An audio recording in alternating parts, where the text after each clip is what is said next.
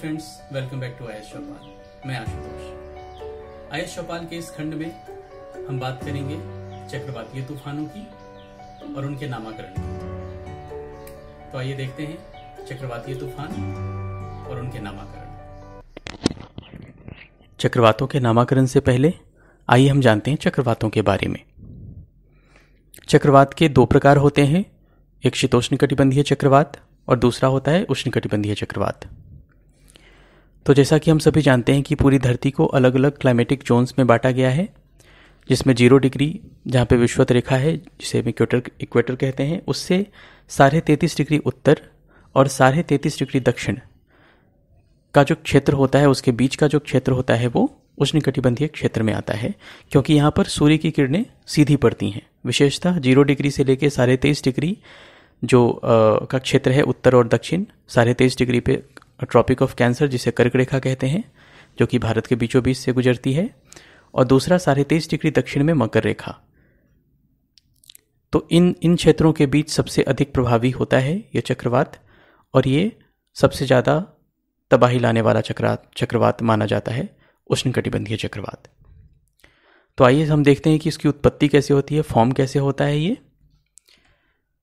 तो जैसा कि हम सभी जानते हैं कि हवाएँ जो होती है, वो हमेशा उच्च दाब से निम्न दाब की ओर चलती है हाई प्रेशर बेल्ट से लो प्रेशर बेल्ट की तरफ़ चलती है। तो समुद्र के किसी भी इलाके में किसी भी क्षेत्र में जहाँ पे टेम्परेचर बढ़ जाता है सबसे ज़्यादा टेम्परेचर होता है वहाँ पे हवाएँ गर्म होकर ऊपर उठने लगती हैं और वहाँ पे लो प्रेशर बेल्ट क्रिएट हो जाता है।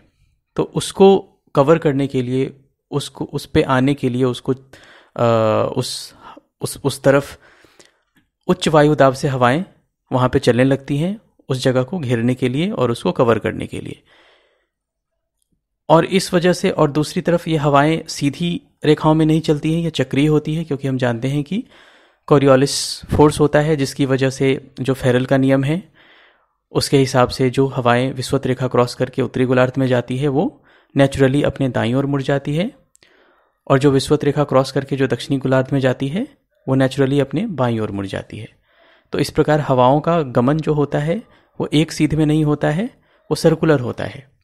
तो इस वजह से हवाएँ वहाँ पे रोटेट करने लगती हैं और जो बीच का जो वैक्यूम क्षेत्र होता है, जहाँ पे सबसे कम वायुदाब होता है, उसे हम चक्रवातों का, चक्रवातों की आँख कहते हैं, जिसे हम आई ऑफ़ साइक्लोन कहते हैं। तो वो एक वैक्यूम होता है जहाँ पे वातावरण बिल्कुल शांत होता है, मौसम बिल्कुल शांत होता है, जबकि उसके चारों तरफ़ बहुत बहुत तेज़ी से हवाएँ चलने लगती हैं।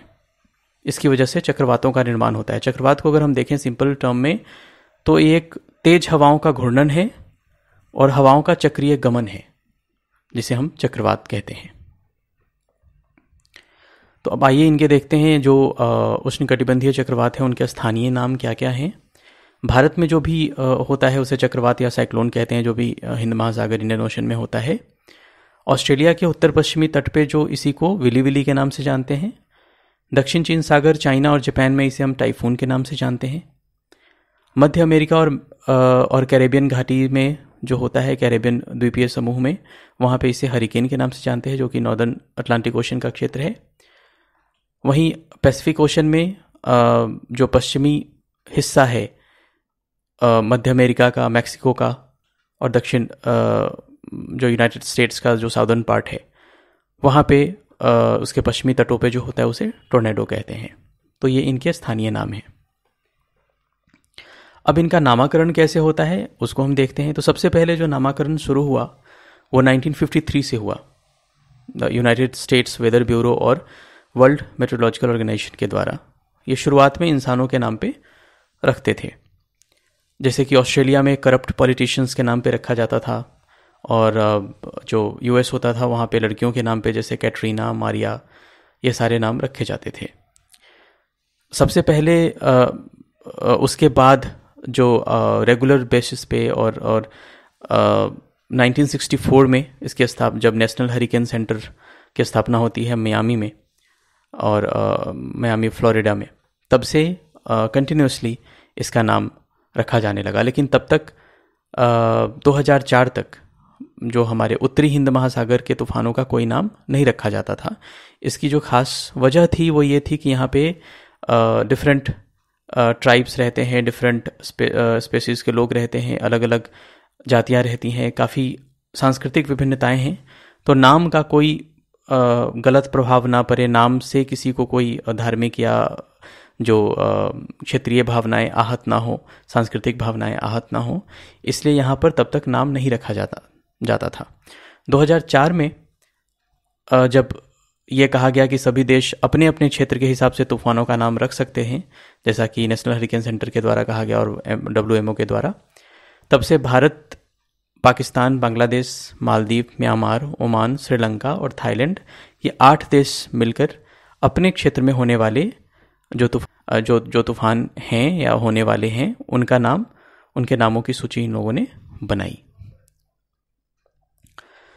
और 2004 से 2020 तक का जो लिस्ट, जो टोटल 64 नेम्स थे, चौंसठ नाम थे, यही नाम 2020 तक उपयोग हुआ है। जैसा कि बांग्लादेश ने आठ नाम दिए, जिसमें ओनिल, अग्नि, निशा, गिरी, हेलेन, छापला, ओकची, फानी इंडिया ने जो नाम दिए थे उसमें अग्नि, आकाश, बिजली, जल, लहर, मेघ, सागर, वायु। इसी तरह हम देखेंगे तो Maldives, Myanmar, Oman, Pakistan, Sri Lanka, Thailand, सभी ने आठ आठ नाम दिए थे। और इनका जो क्रम था, वो पहला तूफ़ान, जैसे बांग्लादेश ने जो नाम दिया, उस नाम से होगा, क्योंकि अल्फ़ाबेटिकल ऑर्डर में बांग्लादेश का नाम पहले आता है। तो इसलिए बांग्लादेश पहले था, उसके बाद इंडिया का दिया हुआ नाम आएगा, उसके बाद मालदीव्स का दिया हुआ नाम आएगा, जैसा अंग्रेज़ी के अल्फ़ाबेट के हिसाब से जो नाम पहले आएगा, जिस कंट्री का नाम पहले, वही नाम रोटेट होता रहता था। तो एक सीरीज़ में पहले ओनिल, फिर अग्नि, फिर हिबारू, फिर प्यार, फिर बाज, फिर फानुस, माला, मुकड़ा, फिर दूसरी तरफ़ से ओग्नि, आकाश, इस तरह से ये चक्र चलता था, इस तरह से ये क्रम नामों का चलता था। 2020 से फिर एक नई सूची जारी हुई है, जिसमें और भी देश जुड़ गए हैं। इसमें ओमान जुड़ा है, कतर जुड़ा है, सऊदी अरेबिया जुड़ा है, यूएई और यमन ये देश जुड़े हैं और इन सभी ने तेरह तेरह नाम दिए हैं, जिसे अभी हाल में हमने देखा निसर्ग, जिसे अभी महाराष्ट्र में काफ़ी तबाही आई थी और तटीय इलाकों में और उड़ीसा के क्षेत्र में गति चक्रवातीय तूफ़ान आया था, जिसे काफ़ी क्षति पहुँची थी। तो ये सभी नाम अभी चल रहे हैं। अभी जो तूफ़ान आएगा, उसका नाम निवर होगा, जिसे ईरान ने दिया है। और इस तरह हम देख सकते हैं कि आने वाले सभी तूफानों का नाम यहाँ पे हम आसानी से देख सकते हैं और हम लोग पता कर सकते हैं कि अभी जो इसके बाद तूफ़ान आएगा, उसका नाम क्या होगा। अब हम देखते हैं उष्ण कटिबंधीय चक्रवातों के नामाकरण से जुड़ी हुई संस्थाएँ। तो कुछ संस्थाएँ बनी, जो कि उनके नामाकरण से संबंधित थी। नॉर्थ अटलांटिक में जो तूफ़ान आएगा जो नॉर्दर्न हेमिस्फेयर में है, उत्तरी गोलार्ध में, उस, उसका जो नामाकरण सेंटर है, वो United States National Hurricane Centre करेगा। और तूफ़ान का जो एरिया होगा, वो equator north northward, European and African Atlantic coast 140 degree west मतलब 140 डिग्री वेस्ट, देशांतर के तरफ़ जो भी तूफ़ान आएगा, उसका नाम नॉर्थ अटलांटिक में जो भी तूफ़ान आएगा, उसका नाम United States National Hurricane Centre देगा। उसी तरह सेंट्रल पैसिफिक में जो तूफ़ान आएगा, उसका नामाकरण जो करेगा वो United States Central Pacific Hurricane Centre करेगा। उसका एरिया डिसाइडेड है कि वो वहाँ से लेकर के 140 डिग्री पश्चिमी देशांतर तक करेंगे। और जो पश 140 डिग्री पश्चिमी देशांतर से 180 डिग्री पश्चिमी देशांतर तक जिसका जो नामाकरण करेगा, वो अलग तरीके का होगा। वेस्टर्न पैसिफिक में जो तूफ़ान आएँगे, उसका नामाकरण करेगा Japan Meteorological Agency. Northern Indian Ocean में जिस जो नाम रखेगा, वो इंडियन मेट्रोलॉजिकल डिपार्टमेंट रखेगा और जो रखता आ रहा है। उसी तरह हम देख लेते हैं, दक्षिणी गोलार्ध में भी अलग अलग इंस्टीट्यूशंस हैं, जो इनके नामों से, इनके नामाकरण से संबंधित है। अब हम देखते हैं उसी तरह से उत्तरी अटलांटिक उष्ण कटिबंधीय चक्रवातों के नाम।